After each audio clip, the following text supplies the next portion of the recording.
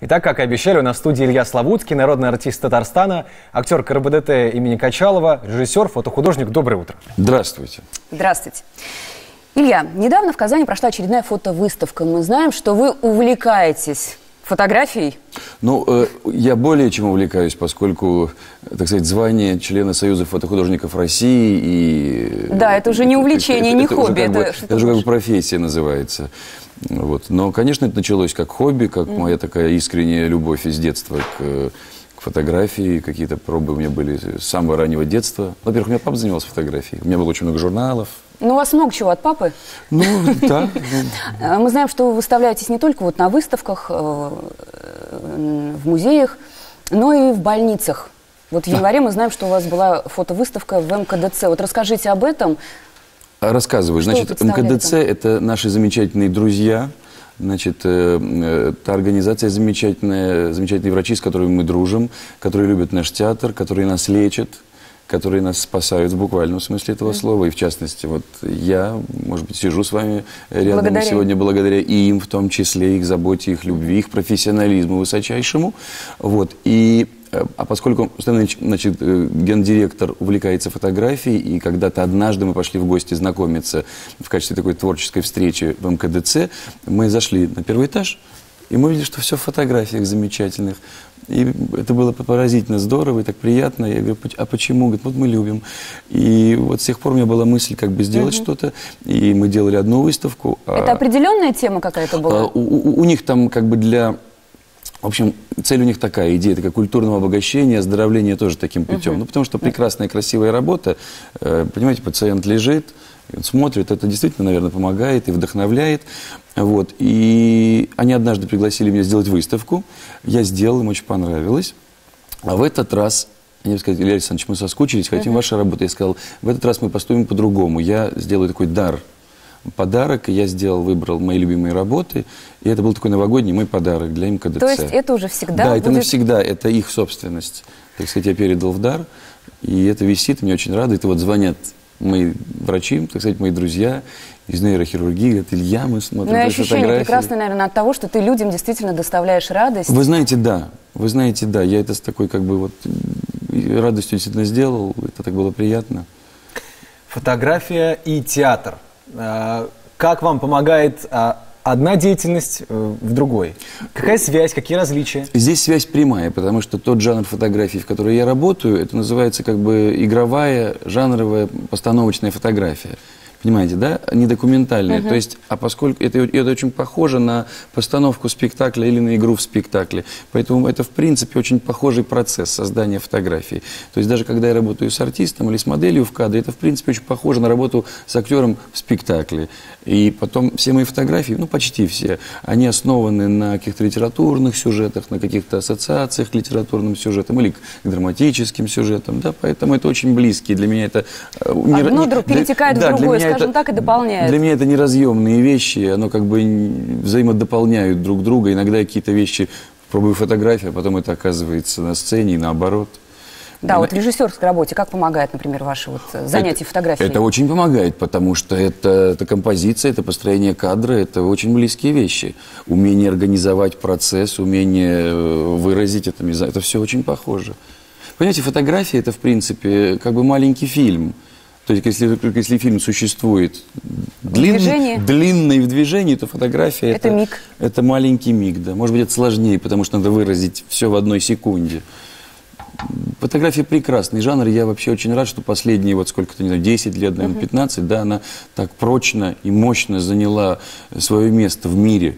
Да, ведь, в принципе, каждый человек, в сущности, имея смартфон, Каждый из нас фотограф уже, да. нет, может, может быть На фотограф. каком-то уровне, Может да. быть фотографом. И вы знаете, я знаю примеры потрясающих работ, которые сделаны, ну, буквально действительно айфоном или там каким-то э, телефоном. Ну, И еще один пр- хорошо. э, пример потрясающей работы. Новый спектакль, который называется «Когда зажгутся фонари». Спасибо. Давайте об этом И поподробнее. это, Это наша... ведь не совсем классическая постановка театральная. Но это совсем не классическая постановка, потому что в сущности это даже это такой синтетический спектакль. Это такой ретро-концерт, мы его назвали, но, конечно, это спектакль. Э, Он соткан из замечательных песен, из лучших, так сказать, городских романсов, э, из, из золотого, так сказать, фонда российской эстрады. Это песни Изабеллы Юрьевой, Петра Лещенко, Козина и так далее, и так далее. Все это переплетено с танцами, с поэзией замечательной. Это вот такое действие, которое формально называется концерт. Но это не совсем концерт, это, конечно, есть такой жанр кабаре. Угу. Да? То есть, вот вы знаете по определению, когда драматический артист поет, а это уже не совсем песня, это становится как бы маленькой историей. Поэтому все номера, которые у нас существуют в нашей программе, да, в этом маленькие концерте, истории. это маленькие такие истории. Отдельные. Да, они как бы перетекают из одна в другой, продолжаются как цепь таких угу. историй, событий про любовь, про дальше переходит это там более философские вещи, возвращается к более веселым, опять грустным. Вот. Но это в сущности такие маленькие истории. И в этом ценность этого проекта и сложность этого проекта. Потому что важно было не просто хорошо спеть или сыграть, угу. а как вы знаете, э, это, это живой оркестр на сцене, живые артисты поют, живые артисты танцуют замечательно, в малом пространстве, это очень красиво и эксклюзивный достаточно проект. Ну и вопрос как эксперту, давайте как-то генерализируем наши знания. Мы сейчас говорим про спектакль, который по сути, но в новой форме в какой-то, да, состоит. Ну, Вообще развитие театра сейчас, оно э, в какую сторону движется? Оно в любую сторону движется. Театр вещь синтетическая, то есть это оно, театр такая, такой жанр, который предлагает все, что угодно, и все, что угодно может быть.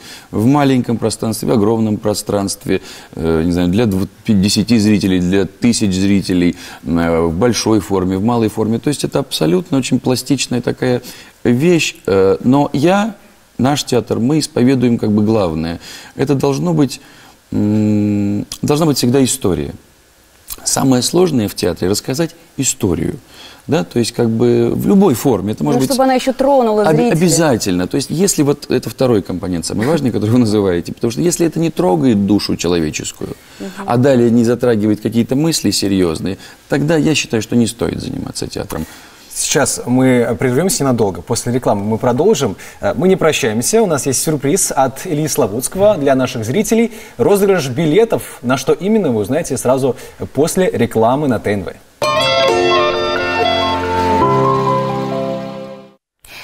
И наша программа продолжается, и сейчас у нас обещанный сюрприз – это розыгрыш билетов с Ильей Славутским. Он сам задаст вопросы. Илья, пожалуйста, слушаем вас. Ну что ж, вопрос достаточно простой для тех, кто любит театр и ходит в него. Это пригласительный, значит, на два лица на спектакль «Бег». Михаила Булгакова пьеса замечательная, одна из наших последних грандиозных премьер. А вопрос следующий. Э, в какую азартную игру в Константинополе играет генерал Чернота? 570 50 75, э, это наш телефон прямого эфира. Если вы знаете ответ, добро пожаловать. В какую азартную игру играет э, генерал Чернота? Да, Константинополь. В Константинополе, это важно. А, если кто-то умеет очень быстро гуглить, мы, в общем-то, не против. Самое главное – дать правильный ответ. Пока у нас есть еще одна очень важная тема, которую мы должны обсудить. А, премьеры грядущие. Это всегда самая важная тема, потому что театр – вещь живая, и должен находиться в движении. Но у нас много, на самом деле, так сказать, э, планов хороших и подарков для наших зрителей. Э, ближайшие это такие планы. Значит, э, это спектакль для детей и юношества «Приключения Тома Сойера и Гекльбери Финна». Это, такой, это, это замечательный совершенно. Это ремейк нашего легендарного спектакля. Э, который зрители любили очень, и до сих пор прошло вот уже много-много лет, они просят его вернуть. Вот Александр Яковлевич возвращает его в репертуар. Но это не будет копией спектакля, это как бы новый спектакль, новые потрясающие костюмы, музыка будет аранжирована по-другому, и новые, конечно, артисты, молодые артисты, что очень важно. Соответственно, и спектакль изменится таким образом. Вот, поэтому все ждут, я думаю, и побегут. Вот. Э, также э, значит, зрители ожидает спектакль «Пять вечеров» по пьесе Александра Володина. Это лучшая советская пьеса о любви. Значит, совершенно замечательная пьеса, невероятно нежная, э, добрая, э, и смешная, и грустная одновременно, о любви, о верности. Это будет спектакль на малой сцене, это мой спектакль, я его ставлю. Вот мы сейчас, активная фаза репетиций идет. Вот, предстоит спектакль «Лес», постановке Игоря Коняева. Это режиссер, который полюбился казанскому зрителю по спектаклю «Укращение строптивой». Вот он к нам э, скоро приедет и тоже займется постановкой. Вот три ближайших названия вам называю. Когда это ждать? Э, вот то, что я назвал, значит, «Пять вечеров» и «Том Сойер» – это достаточно скоро, это май-июнь. А дальше будет наверное, в новом сезоне лес. Вот так. Ну, замечательно, с нетерпением будем есть ждать.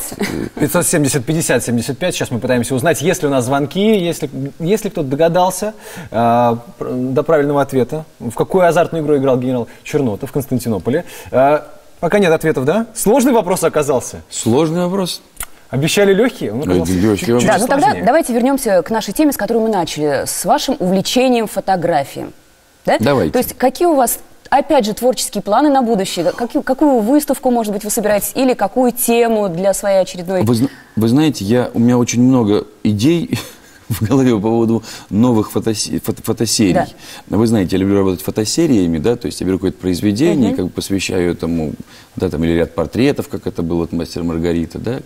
Я сейчас размышляю над мифологией, над древнегреческой, которую очень люблю. Э, Вот, и мысли мои сложные и неоднозначные, я все пытаюсь понять, с какой стороны подступиться к этому, ну, как чтобы... у художника, у творца, Тут- в общем Да, поэтому тут, тут очень важно, чтобы это не было как будто, знаете, понарошку, чтобы это не, не перейти в какую-то вот э, декоративность и проникнуть как-то в серьезную, в какую-то попасть в суть э, вопроса, так сказать. Ну, вы понимаете, то, что, о чем мы говорили по поводу театра. Если это не глубоко, если это То не стоит то это не стоит в им общем-то. заниматься, да. Это не значит, что это должно быть грустно и скучно, но это всегда должно быть глубоко. Сейчас мы узнаем, насколько глубоко прониклись наши зрители вопросом. А, у нас есть звонок. А, если я не ошибаюсь, Анжела, доброе утро, здравствуйте. Здравствуйте. Так, ну, в какую азартную игру играл генерал Чернота? Генерал Чернота играл в «Таракани бега». Правильно. О! Ну, вот видите. Анжел, мы вас поздравляем. Да, мы поздравляем вас с замечательным призом, который вы заработали сегодня. Это э, поход в театр, который, мы надеемся, уверены, доставит вам массу удовольствия. И на два лица, на два лица, поэтому можете подумать, с кого бы еще вы с собой взяли. Ага, Анжела, вы нас слышите? Уже нет, но тем Ну, не Илья, менее... Илья, видимо, тоже пару слов скажет победительнице нашей. Да, да. Анжела, я вас поздравляю, вы молодец. И ждем вас на нашем спектакле. Берите подругу или друга, и мы вас ждем. И желаю вам приятного просмотра и замечательных впечатлений. Ну и дайте, Илья, в завершении. а, тема а, важная, потому что всегда старшее поколение говорит, ну вот молодежь пошла нынче не та. А, что в театральной среде? Молодежь ходит в театры? Э, Молодежь прекрасная. Это все ложь и миф о том, что молодежь плохая. Или... Молодежь всегда нормальная, хорошая. Важно, что молодежи давать и как молодежь воспитывать. Э, Наш зал, я, у меня ощущение, что наш зал на три четверти всегда состоит из молодежи. Причем из самой юной, и, и сказать, что это какая-то плохая, прекрасная молодежь. Умная, читающая, думающая, э, знающая. Ну, конечно, есть и другая мо- молодежь, наверное, но, но у нас прекрасные зрители, прекрасная молодежь. То есть театр, он для всех возрастов однозначно. Безусловно. Вопрос, э, какой театр? Если театр хороший, если он попадает в сердце, если он попадает в ум, э, а это две вещи взаимосвязанные, то будет смотреть и самый маленький зритель, и самый старый, пожилой, какой угодно. И, и границ, чем прекрасен театр? Что границ у театра не существует. Не существует и границ ни, ни в языке, ни в стране, ни в национальности, возрасте. ни в религии. Театр понятен, если он хороший, если спектакль хороший, если пьеса хорошая, если артисты хорошие, если режиссер придумал. Это не важно, где это будет и в Африке, понятно, и, не знаю, и в Америке, и в Израиле, и где угодно. В любой стране. Зритель, когда меня спрашивают, или как, чем отличаются зрители? Они ничем не отличаются. Они везде одинаковые, везде люди живые. И всех э, беспокоят одни и те же проблемы. Любовь, ревность, верность, э, там, не знаю, семья, дети, родители. Все одинаковые. Ну что ж, Илья, спасибо большое. Да, По-моему, остается пожелать вам больше прекрасных зрителей Спасибо. и хороших премьер, да. И да, и удачных премьер, естественно. Спасибо, спасибо. Будем надеяться, Удачи что вам. увидимся в театре. Ждем вас на наших спектаклях.